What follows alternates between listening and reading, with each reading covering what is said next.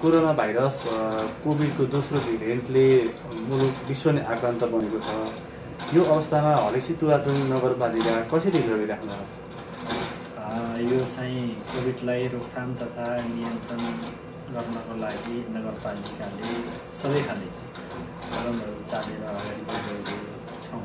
जस्तो अहिले हामीले चाहिँ नगरपालिकाको सम्पूर्ण सङ्घ संस्था कार्यालयहरू अति आवश्यकभन्दा बाहेकका सबै सङ्घ संस्थाहरूलाई सिल गरेर बन्द गरिरहेको अवस्था छ भने सङ्क्रमितहरूको चाहिँ विभिन्न माध्यमबाट पहिचान गरेर एन्टिजेन परीक्षण पिसिआर परीक्षण गरेर पोजिटिभ केसहरूलाई चाहिँ हामीले आइसोलेसनमा राखेका छौँ। सक्रियहरूलाई नभए सामान्य खालको पोजिटिभ देखिएका बिरामीहरूलाई चाहिँ घर घरमा राखेरै नगरपालिकाले उहाँहरूको नियमित फलोअप गरिरहेको छ।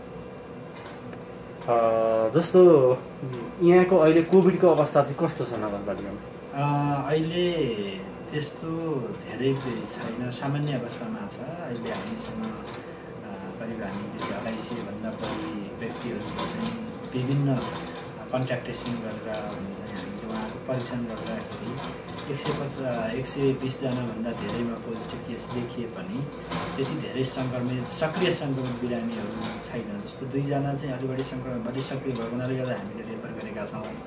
त्योभन्दा बाहेक चाहिँ अहिलेसम्ममा हामीले पच्चिसजना चाहिँ नगरपालिकाले निर्माण गरेको आइसोलेसनमा राखेर उहाँहरूलाई हामीले चौध दिन जति राखेर नगरपालिकाबाट उहाँहरूलाई स्वास्थ्य कर्मीको निगरानीमा राखेका छौँ हामीसँग अक्सिजन दिनुपर्ने खालको केसहरू पनि थियो।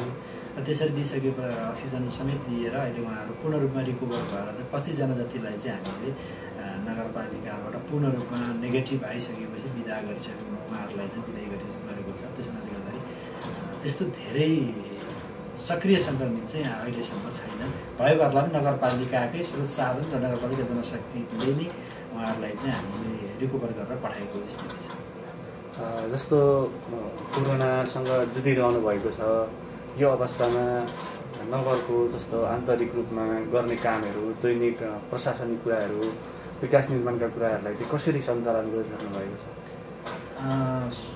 अहिले यो कोभिडको कारणले गर्दाखेरि गत वर्ष पनि नगरपालिकाले निर्माण गरेको नीति कार्यक्रम बजेट अनुसार काम गर्न पाइएन त्यसको असर यो वर्ष पनि पर्यो। र यो वर्ष पनि अहिले पछिल्लो तेस्रो भिडियो के अरे दोस्रो भिडियोको रूपमा चाहिँ कोभिड यसरी फैलिसकिसके पछाडि सुरुवाती दिनहरूमा चाहिँ हामीले सम्पूर्ण विकास निर्माणको कामहरू र नगरपालिकामा पनि कर्मचारीहरूमा हाम्रो चाहिँ प्राविधि त्यस पछाडि चाहिँ योजना लगायत अन्य शाखाका चाहिँ कर्मचारीहरूमा समेत कोभिड पुष्टि भइसके पछाडि हामीले पूर्ण रूपमा नगरपालिका नै सिल गरे गरिसके गरेर चाहिँ हामीले उपचार र रोकथाममा ध्यान दियौँ भने पछिल्लो समयमा यो कोभिडको मात्रा अलिअलि हामीले चाहिँ जनशक्तिहरू पनि स्वास्थ्य जनशक्तिहरू बढायौँ आवश्यक औषधि इक्विपमेन्टहरू को पनि चाहिँ बन्दोबस्त गरिसके गरेर हामीले अलिक सावधानी अप अप्नाउन थालिसके पछाडि कोभिड अलिक नियन्त्रण हुँदै गइसके पछाडि पछिल्लो समय हामीले चाहिँ हाम्रा कार्यालयहरू सञ्चालन गरेर चाहिँ नगरपालिका वडा कार्यालयहरू सञ्चालन गरेर अहिले अति आवश्यक कामहरू चाहिँ सञ्चालनमा ल्याएका छौँ र हामीले चाहिँ यो कोभिडको कारणले गर्दाखेरि असर परेको विकास निर्माणका कामहरू र दैनिक प्रशासनिक कामहरू जति असर परेको छ यसलाई असर चाहिँ पार्न नदिनको लागि अब यो कोभिडलाई नियन्त्रण गर्दै र कोभिडसँग जुझ्दै भए पनि हाम्रा कामहरूलाई चाहिँ रात्रि खटेर भए पनि हामीले चाहिँ नियमित प्रक्रियामा ल्याउने ढङ्गले हामी जस्तो अब त लगभग तिन वर्षको बजेट सकियो होइन। चौथो वर्षको बजेट बनाउने बेला छ होला। खास यो कोरोनाको बेला होइन अब बजेट कसरी चाहिँ बजेट बनाउने योजना बनाउनु भएको छ कुन चिजलाई चाहिँ विशेष गरी महत्त्व राख्नु चाहिँ खास गरिकन हामीले हिजो जुन उद्देश्य जुन लक्ष्यको साथ नगरपालिकामा चाहिँ जनप्रतिनिधिको रूपमा हामीले भित्रिएका थियौँ त्यो काम गर्दा गर्दै यो प्राकृतिक अप्राकृतिक कारणले गर्दाखेरि हामीले लक्ष्य अनुसारको काम गर्न सकिरहेको स्थिति छैन। जस्तो चाहिँ हामीले चाहिँ पहिलो वर्ष चुनावी वर्ष भयो हामी आइसके पछाडि पनि चाहिँ प्रदेश र सङ्घको चुनावी वर्ष भएको कारणले गर्दाखेरि धेरै काम गर्न पाइँदैन। त्यस पछाडि फेरि यो नगरपालिका कस्तो हो भनेदेखि भौगोलिक हिसाबले हावापानीका हिसाबले सुक्खा क्षेत्र भएको हुनाले गर्दाखेरि सुक्खाको कारण सुक्खा खडेरीका कारणले गर्दाखेरि चाहिँ यहाँ बिउ बाली समेत नष्ट हुने अवस्था चाहिँ नभित्रिने अवस्था सिर्जना भइसकेपछि नगरपालिकाले खाद्य सङ्कट क्षेत्र घोषणा गरेर खाद्यान्नमा हामीले लगानी गर्न पऱ्यो लगानी गर्न पऱ्यो त्यस पछाडि फेरि चाहिँ कोभिडको महामारी सुरु कोभिडको कारणले गर्दाखेरि विभिन्न नगरपालिकाभन्दा बाहिर सहर र सदरमुकाममा अध्ययन रोजगारी व्यापार व्यवसाय औषधि उपचारको सिलसिलामा बसेको नागरिकहरूलाई पनि चाहिँ हामीले उहाँहरूलाई उद्धार गरेर नगरपालिका ल्याउनु पर्ने दैनिक जलमजदुरी गरेर चाहिँ आफ्नो जीविका चाहिँ निर्वाह गरिरहेको नगरवासीहरूलाई पनि हामीले राहत खाद्यान्नहरू चाहिँ गर्नुपर्ने भएको कारणले गर्दाखेरि कोभिडको कारणले हाम्रो विकास निर्माणको सामाजिक विकास निर्माण र भौतिक विकास निर्माणको कामहरूमा प्रभाव त पारेकै छ तर पनि हामीले त्यो प्रभावलाई चाहिँ न्यूनीकरण गर्न खोजिरहेको न्यूनीकरण गरि नै रहेको छौँ। त्यसको ठोस असरलाई चाहिँ कम गर्दै नगरपालिकाले हामीले चाहिँ जुन किसिमको चाहिँ प्रतिबद्धता जाहेर गरेर आएको छ त्यही अनुसारको त्यही सेड्युलमा हामी अगाडि बढी नै रहेको छौँ। खास विकास निर्माणलाई यी यतातिर नसोचेको ठाउँमा अकल्पनीय क्षेत्रमा खर्च गर्न परे पनि त्यसको तात्विक असर चाहिँ पर्न दिएका छैनौँ र यो वर्ष पनि हामीले चाहिँ एकदम चाहिँ माइक्रो म्यानेज म्यानेज गरेर पनि यसलाई व्यवस्थापन गर्दै नगरपालिकाको चाहिँ चाहिँ नगरवासीको आम जुन किसिमको चाहिँ आशा अपेक्षा गर्नुभएको छ त्यो अनुसारको विकास निर्माणको काम त्यो अनुसारको सुशासनको कामलाई चाहिँ अगाडि बढाउन खोजि रहेको छौँ र अहिले हामीले चाहिँ कम खर्चले कम लगानीमा धेरैभन्दा धेरै जनप्रतिनिधि र बढीभन्दा बढी स्वास्थ्य कर्मी मिडियाकर्मी सुरक्षाकर्मीलाई परिचालन गरेर आह्वान गरेर कोभिडलाई चाहिँ न्यूनीकरण गर्नको लागि चाहिँ हामी जुटिरहेको छौँ भने यो वर्ष पनि कोभिडलाई र कोभिडको कारणले चाहिँ असर परेको जुन पनि विकास निर्माण छ त्यसलाई चाहिँ उठाउनको लागि थोरै हामी चाहिँ लगानी गर्ने त्यतातिर चाहिँ हामीले त्यसबाट रिकभर गर्न खोज्ने खालको बजेट त बनाउ बनाउँदैछौँ बनाउँछौँ नै। तर धेरै चाहिँ हाम्रो चाहिँ हाम्रो जुन किसिमको चाहिँ विकास निर्माणको सपना चाहना छ त्यतातिर नै हाम्रो ध्यान जान्छ। जस्तो अहिले हाम्रो देशमा तिन तहको सरकार छ।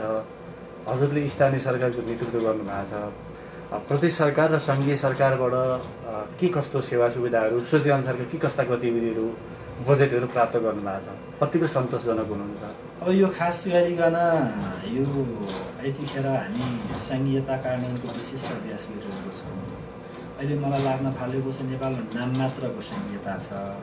खास गरिकन सङ्घीयताको आवास म स्वयं नगर प्रमुखले त गर्न पाएको छुइनँ भने बिचरा नागरिकहरूले के सङ्घीयताको चाहिँ आवास यो यो व्यवस्था अहिले चाहिँ सारा लडेर आएको व्यवस्थाहरूले ल्याएको परिवर्तनको आवास त गर्न पाए पाउनुभएको छ जस्तो मलाई लाग्दैन।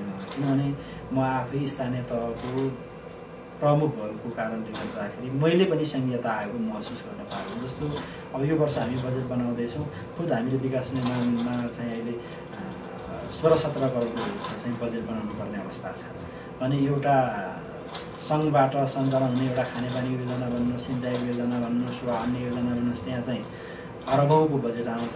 एउटा चाहिँ एघारवटा गाउँ विकास समिति सालिलो मिलेर गरेको नगरपालिका चलाउनुको लागि सोह्र सत्र करोडमा बस्नुपर्ने अवस्था छ र अर्को हामी यो पछिल्लो समयमा यति ठुलो महामारी र विपत्तिको सामना गरिरहेको छौँ।